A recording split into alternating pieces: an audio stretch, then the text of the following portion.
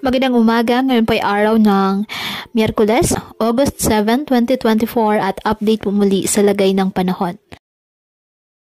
Ayon sa pag-asa, tatlong low pressure area ang minomonitor ngayon sa loob at labas ng Philippine Area of Responsibility. Ang dalawang low pressure area na nasa extreme northern Luzon ay mababasa ngayon ang tsansa na lumakas bilang bagyo ayon sa nasabing ahensya.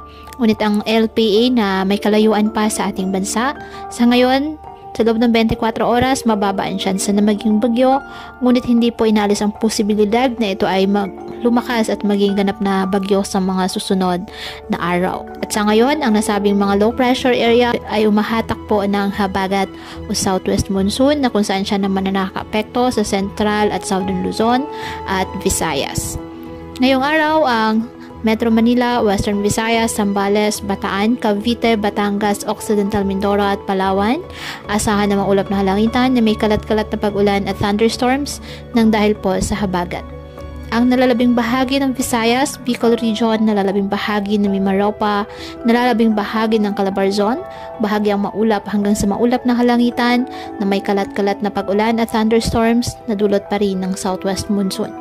Apektado naman po ng mga localized thunderstorms ang nalalabing bahagi ng ating bansa. Kaya patuloy po natin na pinag-iingat ang ating makababayan sa banta po ng mga pagbaha at pagguho ng lupa, lalo na po kapag may malalakas na ulan at ugaliin na magdala palagi ng payong o kahit anumang panangga sa ulan sa tuwing lalabas po ng ating mga tahanan. At yan po muna ang update sa lagay ng panahon ngayong araw. Muli patuloy po tayo na mag-ingat at palaging tandaan, God loves you. Stay safe and God bless.